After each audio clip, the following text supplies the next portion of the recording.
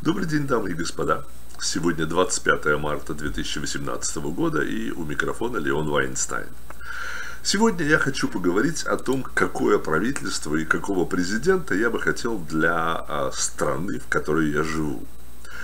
А, значит, такой вот как бы странный вопрос я сам себе задал, и вот сейчас постараюсь на него ответить. Я позволю себе быть сейчас совершенно откровенным. Я хочу правительство, при котором вот мне и моим близким хорошо бы жилось. И я уверен, что если не на публике, там, а в чеши собственных размышлений, практически 100% человечества думают так же. Когда мне говорят, что надо любить соседей, там, как самих себя, то, значит, я так понимаю, что вот если с лодки упали, там, скажем, двое детей тонут, значит, один так сказать, мой ребенок, а чей-то еще, то, значит, я должен броситься и спасать не моего ребенка, а того, который ближе, значит, даже с риском того, что мой утонет. А, вот, или если там у вас есть э, одна сыворотка там против укуса змеи, а, а змея укусила, там, скажем, вашу маму и чью-то еще, то вы еще подумаете, мол, так сказать, должны, вернее, подумать, кому ее давать, думать, так сказать, кто там более важен для народа, я не знаю, там, или там что-то еще. А вот лично я, например, э, если мой ребенок там нуждается в помощи, то я помчусь спас, сначала его спасать, ну, а потом попытаюсь поспасать кого-то еще. А, значит, даже если выбор идет между моей, скажем, мамой или моим ребенком и трижды лауреатом Нобелевской премии, который с точки зрения всего остального земного шара более важен, так сказать, для человечества, чем мой ребенок, я извиняюсь, но я помчусь спасать своего ребенка. А в Декларации независимости США значит, включает в себя следующие слова. Значит, попробую по-русски это перевести. Значит, любой гражданин страны имеет право на жизнь, свободу и право на счастье. Возможно, что счастье, значит, ну, право, на которое, значит, декларация э, провозглашает, это и есть то, что в самом начале я определил, как я хочу правительство, которое мне и моим близким, значит, будет, позволит, сделает так, чтобы я хорошо жил. Америка, кстати, единственная страна, в которой право на счастье закреплено как бы в одном из главных основополагающих документов страны. Вот и теперь пора, естественно, разобраться, что же такое хорошо жить, чтобы понять, какое так сказать, нужно правительство, чтобы обеспечить вот эту хорошую жизнь всем, ну или хотя бы большинству населения страны. Лично я хочу жить спокойно. Значит, то есть, чтобы на улицах, там, в общественных местах не ходили бы там хулиганы и бандиты, не издевались бы надо мной и моими детьми, не убивали и не грабили. А если, не дай бог, что-то такое произойдет, то соответствующие органы их отлавливали и изолировали. Я хочу быть ну, скажем, уверенным, что на страну не нападет другая страна, что мы будем достаточно сильные, чтобы люди боялись на нас напасть. Или, по крайней мере, что отпор будет мощным. Я не хочу, чтобы моих детей, кстати, детей моих друзей тоже, забирали в армию и посылали умирать непонятно, собственно, за что, и сказать, убежать, убивать чужих детей, если только это не для защиты нашей страны от напавшего, напавшего на нас врага. Я хочу, чтобы в стране была законность, и чтобы закон и суд был одинаков для всех, там, для сына сапожника и сына премьер-министра, значит, для самого бедного и самого богатого, значит, для никого неизвестного и для знаменитости. Я понимаю, что идеальная ситуация, идеальной ситуации практически не бывает, и что, ну, все-таки премьер-министр, там, олигарх или знаменитость имеют какое-то преимущество, но чтобы оно было минимальным, и чтобы нечестные решения суда можно было бы опротестовывать.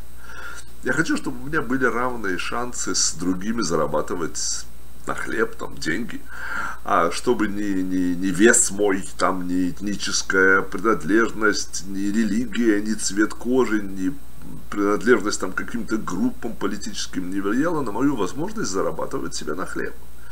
Я хочу, чтобы у меня не отнимали заработанные мною деньги. Слишком много раз уже бывали ситуации, когда правительство решало, там, скажем, там что-то построить или кому-то еще там помочь, или провести там фестиваль, олимпиаду, построить дворец, вот, с кем-то еще повоевать. И повышало бы, так сказать, поборы, они называют это налоги, с тех, кто честно зарабатывает, э, так сказать, на жизнь, тяжело работая.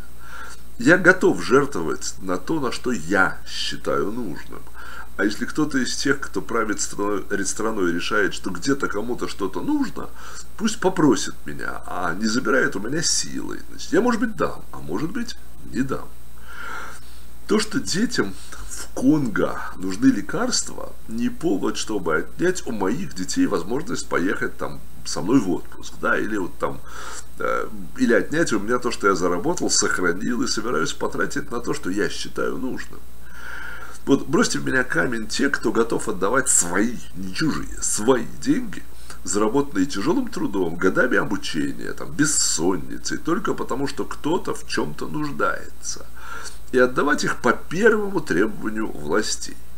Подытоживая, значит, хорошая жизнь, с моей точки зрения, тогда, когда человек свободен делать то, что он хочет. Значит, если он не нарушает этим законы страны, когда люди ну и я бы сказал так, и 10 заповедей, потому что сказать, хорошие законы всегда базируются на именно этих 10 заповедях. Значит, когда люди равны перед законом, когда они живут в безопасности, когда их не судят по цвету кожи там, или там, по виду, а по умению, и когда есть работа, приносящая доход, и его этот доход ни бандиты, ни правительство, там, государство, называйте угодно, не сможет отнять без разрешения владельца денег, то есть меня. Ну вот, а теперь, значит, можно уже начинать рассматривать вопрос, кого я бы хотел президентом страны моего проживания. Я вообще-то считаю, что, так сказать, знаменитое заявление Джона Кеннеди «Не спрашивай, что твоя страна может сделать тебе, а спроси там лучше, что ты можешь сделать своей стране», абсолютно пропагандистская. Дело в том, что если твоя страна, скажем, гноит в ГУЛАГе твоих родных, которые ничего не сделали преступного, ввела культуру поголовного воровства, возможность нормальной жизни украдена у семьи, тогда не так сказать, не, не, не то, что делать что-то такой стране, а не хочется, а хочется из нее удрать как можно скорее или, или разрушить этот гнойник, а на обломках этой бандитской власти построить совершенно другой мир. Но Ленин, собственно, уже это пытался делать, поэтому мы не будем повторять, так сказать, его деяний. Вот я решил в свое время уезжать и уехал воссоединяться с родственниками, которых я, естественно, никогда не видел в Израиле. А подав на отъезд во время войны Йом-Кипур, значит, в 1973 году мы подали документы, в которых мы подписали, что едем на воссоединение. Значит, нас отпустили, сказав, вам там, вас там скоро убьют, и очень хорошо, значит, что убьют. Потому что мы, значит, родину предали. А все прекрасно понимали, что мы не могли знать даже наших родственников. Страна была на замке советская, значит, никто, кроме шпионов и партийных бонс, в настоящую заграницу, да еще к родственникам не ездил еще одно вранье, значит, о котором все знали, но делали вид, что это чистая правда, значит, как вера в светлое коммунистическое будущее. Значит, никто не верил, а все, значит, собирались и, и верили вместе. Прожив 11 лет в Израиле, став там Карабасом-Барабасом, значит, я, у меня был, я был хозяином театра юных зрителей, поставив кучу спектаклей, написав э, кучу пьес, рассказов. Я поехал ставить свои же пьесы сначала в Нью-Йорк, а потом в Лос-Анджелес и задержался вот до сих пор. По дороге я пожил и поработал немного в Англии, немного во Франции. Я хочу сказать, что у меня есть опыт жизни в СССР, потом в Израиле, потом в Европе, потом в США, кстати, на разных берегах, Лос-Анджелес и Нью-Йорк, очень разные места для жизни. Ну и перестроечной России, кстати, где я провел в начале 90-х около трех лет, пытаясь сделать несколько коммерческих проектов и одновременно помогая России и Америке лучше понять друг друга и начать сотрудничество. А, ну вот уехал и, значит, понимаете, э, как-то сотрудничество дальше долго не получалось.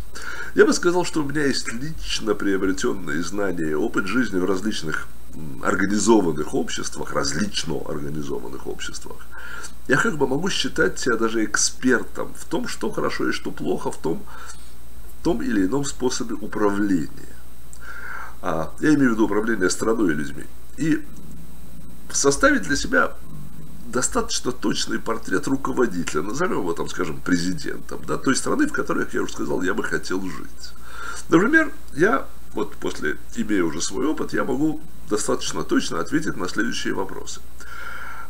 Важно ли мне, какого роста, веса, национальности мой президент? Ответ – не важно. Если он зеленого цвета со вставными зубами и у него лысая голова, но он делает так, чтобы мне жить было хорошо и, так сказать, в общем, большинству, скажем, населения страны, то он хороший президент. А если он, так сказать, любого другого цвета и делает плохо, он плохой важно ли мне, любит ли он джаз или классическую музыку, скажем, так сказать, смотрит ли он бейсбол или порнуху. Ну, клянусь, неважно, пусть смотрит что угодно. Насчет любвеобильности тоже интересно. Мне тоже все равно.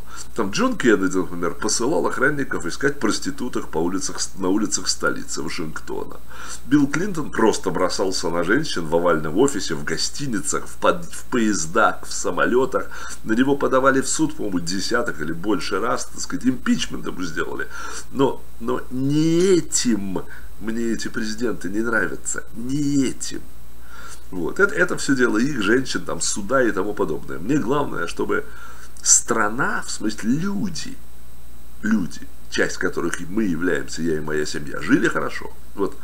Важно ли, ругается ли президент матом, скажем, да, так сказать, плюется ли он на пол, там, кладет ли он ноги на стол, чавкает ли он, когда ест. Мне совершенно все равно вернее, вот мне другое не все равно, вот что я хочу сказать. Мне не важно, какого цвета его кожа, любит ли он или она противоположный пол, или как Хиллари Клинтон свой. Мне это не важно, не за это я ее, Хиллари, не люблю. Мне важно, чтобы президенты, набранные, так сказать, им правительство, обеспечивало нам, американцам, то, что мы с вами определили как хорошая жизнь. Возьмем вот двух президентов разных стран, Путин и Трамп. Значит, Путина вроде, так сказать, обожает три четверти населения, а по крайней мере, значит, за него проголосовало там 75%, а за границей вообще русской, так сказать, обладателей российских паспортов аж 84%. Вот. И Трампа, за которого по всем вопросам вроде бы готовы голосовать там то ли 38, то ли 39%. И сравним, как они обеспечивают хорошую жизнь гражданам своих стран. Трамп пытается создать рабочие места в Америке.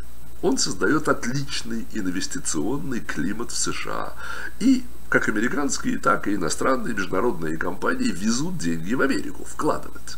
Кроме того, из-за Трампа несколько триллионов долларов, которые были в прибылях американских компаний, не возвращались обратно, сидели за рубежом из-за идиотского налогового закона, будут сейчас из-за Трампа возвращаться в США, чтобы инвестироваться здесь. То есть организация новых производств, организация новых рабочих мест, дорог, инфраструктуры там и тому подобное. Вот. Путин сам вывез из страны как говорят, так сказать, там несколько миллиардов, там говорят до 200 миллиардов долларов, я не считал, естественно, а говорят, имеется в виду специалисты. Его окружение вывозило и продолжает вывозить из России более триллиона долларов, вот, и где-то их прячут. Трамп создает условия для улучшения жизни граждан, а Путин ворует у них их деньги и их будущее, потому что не строится ни инфраструктура, ни заводы, ни фабрики, ни, не инвестируется.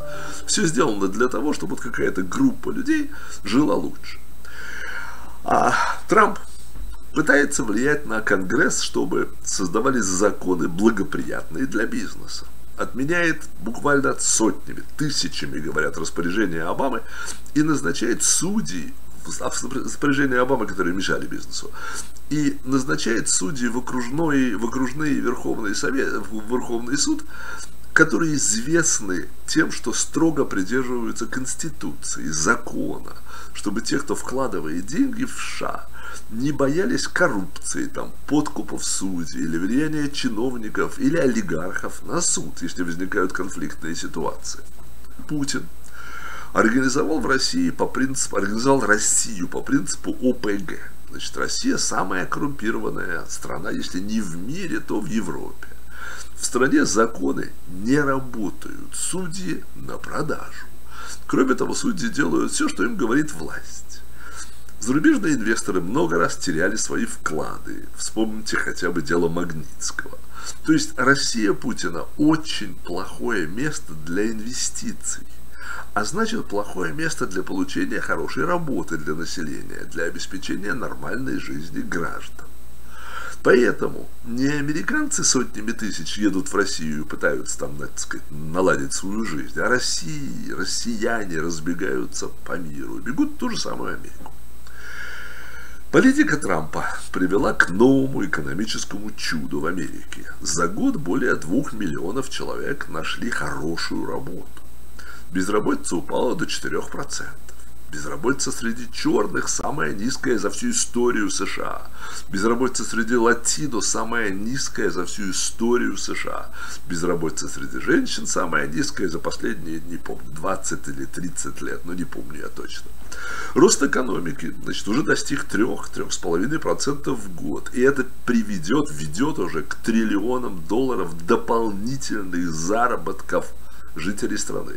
Вот сравните это с 1,2% среднего роста при Обаме. Действия Трампа привели к скачку стоимости ценных бумаг. Они сейчас плавают вверх-вниз, вверх-вниз, но они прыгнули уже с 19 тысяч на 25, то есть на 6 тысяч, да, 30 с лишним процентов. И там сидят туда-сюда, туда-сюда, прыгнут снова. Вот. А что это означает? Означает увеличение пенсий людей на 30%, увеличение дохода от акций людей на 30%, увеличение количества денег, которое может потом вкладываться в бизнесы в той же Америке на 30%. Вот. А еще они привели так сказать, эти законы и деятельность Трампа к увеличению, усилению, не знаю сказать точно, уверенности американцев в будущем. То есть американцы значительно более оптимистично смотрят в будущее свое и своих детей.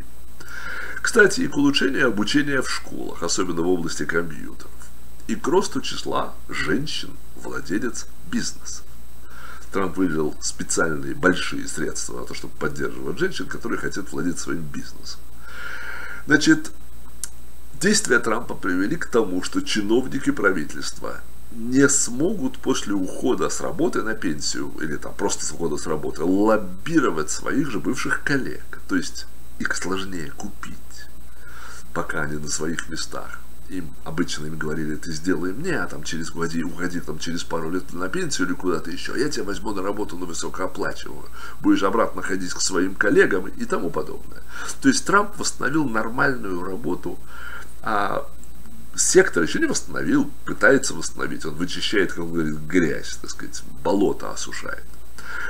А в ветеранской администрации до прихода Трампа, то есть администрация, которая занималась там лечением, расселением и всеми проблемами ветеранов, а, стало совершенно по-другому. Ветеранов лечат, обслуживают немедленно и отлично. Как в России, кстати, и не снилось. При Трампе стали арестовывать огромное количество членов банд, которые приезжают к нам э, из других стран и рекрутируют здесь молодежь, особенно латинскую. Значит, снизилась незаконная миграция. Происходит постоянный отлов нелегальных иммигрантов, тех, кто совершил преступления в США. Жить в Америке становится все безопаснее и безопаснее. При Путине в России сын министра мчится по Москве на своем, так сказать, шикарном там Мерседесе или что у него есть, сбивает старушку и выходит из суда полностью оправданный. При Путине бизнесы у владельцев отжимают как бандиты, так и чиновники в тюрьмы, кстати, идут не те, кто виноват, а те, кто не согласился отдать что-то сильным мира сего. Жить в России опасно, если у вас нет защитника, сидящего на высоком месте, которому вы носите, назовем это, дань, как монголам когда-то. Вот, чтобы прописаться, вам нужно дать взятку. Вы нарушили правила движения – взятка. Жить в России тому, у кого нет достаточного количества денег и высоких связей далеко не безопасно. В Америке Трампа я свободен делать то, что хочу. Если я совершаю преступление, закон меня накажет в соответствии с законом. Если кто-то совершит что-то против меня, я как пострадавший буду его судить. Все не всегда так красиво, как, как в теории. Но то, что я говорю, работает в 99% случаев. Это достаточно хороший процент. Хотелось бы в 100. Но 100, наверное, вообще никогда нигде ни в чем невозможно достичь. Перед законом все равны. Сейчас остатки обамовской клики, которые пытались вот именно это изменить. Все равны, а есть которые равнее. Да? Они выметаются из там ФБР, из Министерства юстиции, Министерства иностранных дел. Мы надеемся, что против Хиллари и ряда ее подельщиков будут возбуждены уголовные дела. Уже идут расследования. При Обаме были люди, которых нельзя было трогать. При Трампе таких нет. Американцы меньше стали бояться ИГИЛа, в Сирии и Ираке его практически нет, он там еще где-то рассеян по всяким другим странам. Вот. И международный терроризм, кстати, значительно ослабился. Бандиты, приехавшие из других стран, вылавливаются и либо садятся в тюрьму, либо их депортируют, несмотря на злобное сопротивление демократов, кстати. Демократов имеется в виду членов Демократической партии Америки. Россию Путина ненавидят в Грузии, в Прибалтике, в Украине, в Англии, а теперь уже и в США. Значит, в Голландии Боинг, который сбили россияне, тоже не очень дает им покоя. А еще их, российских россиян, ненавидит миллиард суннитских мусульман за поставки оружия Ирану, газов, сказать, отравляющего газа в Сирию и за убийство более полмиллиона чеченцев вот, попавших под разрушение Грозного массовыми бомбежками жилых кварталов российскими бомбардировщиками и артиллерией. Хочу еще раз подчеркнуть, эти люди жили на территории Российской Федерации, не за границей.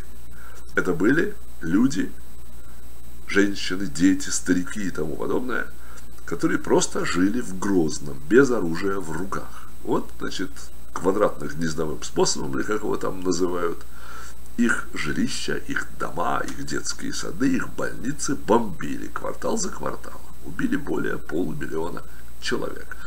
Не говорите мне, что это не так. Все свидетельства имеются. Не только свидетельства людей, фотографии с воздуха, с космоса, прямо там и тому подобное. Так что даже не хочу в это лезть, потому что, так сказать, спора никакого нет. Убили более полумиллиона человек гражданского населения. Кстати, большинство из которых было белое российское, этническое российское население. Потому что а, Сами чеченцы частично ушли в аулы к своим родственникам, а эти никуда уйти не могли. Возможно, хорошую жизнь и счастье люди понимают по-разному. Думаю, что те, кто понимают так же или близко к моему пониманию, легко выберут между Трампом и Путиным. Даже между Обамой и Трампом, или там Хиллари и Трампом. Но, возможно, есть люди, которые считают, что хорошо жить, это чтобы их страну все боялись чтобы она нападала на соседей, завоевывала их, либо отрывала от них куски, не от соседей, а от стран, естественно. Когда соседи трепетают, трепещут и подчиняются, вот это им нравится, чтобы вообще все в мире трепетали перед их державой. Если для них важно, чтобы их лидер был мускулистый, малословен, строил бы себе дворцы, раздавал бы там соболиные шубы и, российские недра за заслуги перед, перед ним, который, которого он отождествляет с Отечеством, так сказать, страна это я, там, государство это я.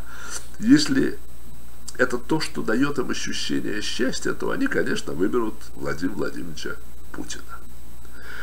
Наверное, мы, они, такие как они, такие как я, смотрим друг на друга в полном изумлении. Я не могу понять, как можно выбрать Путина, они не могут понять, как можно не любить того, кто поднял их с колен, кто набил морды там а, грозным и воинственным грузинам, которых оказалось 4,5 миллиона, значит, против 140 миллионов россиян. Наказал чеченцев, а в том числе женщин, беременных, детей, стариков и прочее. Значит, молдаван, оттяпал наш Крым – несмотря на то, что Россия подписала гарантию, что в ответ на передачу ядерного оружия Украине, Россия гарантирует Украине границы, и границы вычерчены, и Крым отошел Украине по этому договору. Вот, и дал им прекрасное ощущение, что они самые духовные и культурная нация на свете. Ну, точно как немцы при Гитлере. Они тоже были культурные, интеллектуальные самые справедливые в мире. Любили музыку, там, так сказать. А музыку они любили. Вот. А другие, соответственно, чмо. Значит, мы самые культурные, а остальные вот другие чмо. Вот. Ну и под конец моего уже очень длинного монолога сегодня, когда-то у меня в Израиле был детский театр.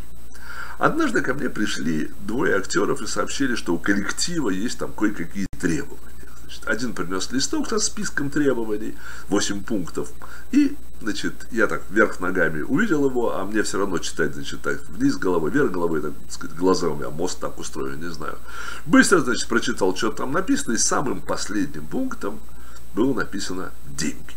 Значит, я боролся с каждым их требованием, типа купить новые чемоданы или, или называть актеров ведущие актеры, а не просто исполнители.